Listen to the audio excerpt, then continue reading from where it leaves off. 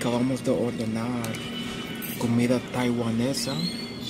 Esta es sopa de carne y pollo frito.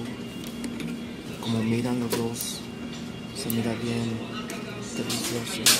Vamos a probar la carne, con que ya la probé, pero está bueno. Ustedes miran, está bien caliente.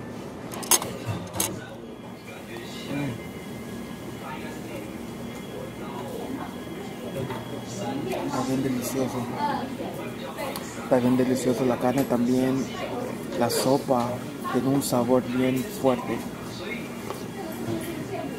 Pero, oh my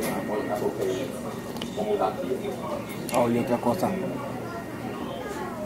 Este es ah, té negro de ah, passion fruit. So es té negro de ah, passion fruit delicioso. Voy a probar el pollo. Pollo frito.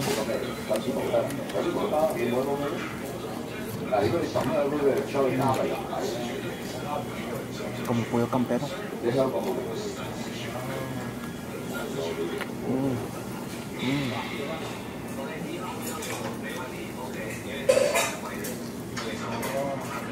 Está bien rico. Está bien rico el pollo. No sé cómo usar los, los chopsticks. No, no puedo usar los chopsticks. No sé cómo, cómo la gente lo puede ocupar. Pero yo creo que es la la onda bien.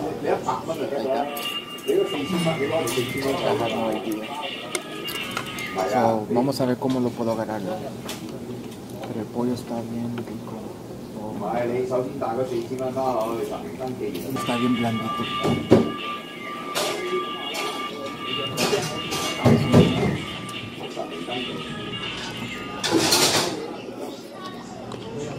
Lo gordito de la carne está bien blandito.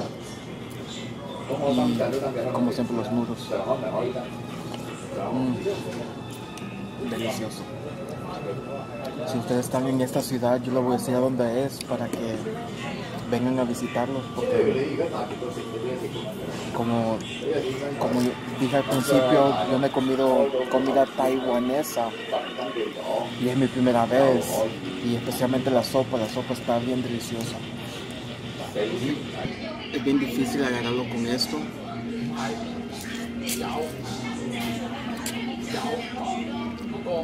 Mm, es difícil, tengo que aprender cómo hacerlo. Porque si no aprendo nunca voy a poder comer bien las comidas ah, chinas, japonesas. Hicimos una buena decisión venir acá y, y yo lo recomiendo. Por si ustedes vienen aquí a Toronto, lo recomiendo para que vengan a visitarlos y prueben su comida. Este lugar se llama St. Q Taiwanese Cuisine en Toronto, Canadá. Estaba bien delicioso, la comida estaba bien estupenda. No tenía ganas de tomar sopa, pero como se miraba la sopa, no puedo decir que no. Suerte que decidí ordenarla porque estaba bien deliciosa. Y eso que a mí personalmente no me gusta la sopa de Chinese soups. Ya casi a mí no me gusta las noodle soups. Y sí, estaba bien deliciosa la comida. El nuro estaba bien blandito, bien jugosito. Y también, no solo eso, también estaba, el sabor estaba bien, bien rico. La verdad que no creí que iba a estar tan bueno la sopa. Lo que me gustó más es que la sopa estaba bien mezclada con el condimento que le pusieron. Y es lo que a mí me gustó más porque, y no se le sintió muy simple. La sopa estaba bien excelente, man. y me gustó. Y, me- eso que me tomé la mía y de la mi cocinera, porque la cocinera dejó. Ahora llegamos a Toronto y mañana voy a salir a ver unas fotos y caminar por el downtown, porque hay unos lugares que yo quiero ir que me está llamando mucho la atención y quiero ir a probar diferentes comidas. Ah, quiero probar diferentes bocaditos y he escuchado mucho de que venden ah, mucha comida callejera aquí en el downtown. Vamos a conocer unos lugares. Quiero ir a, un museo que se llama The Egyptian Museum.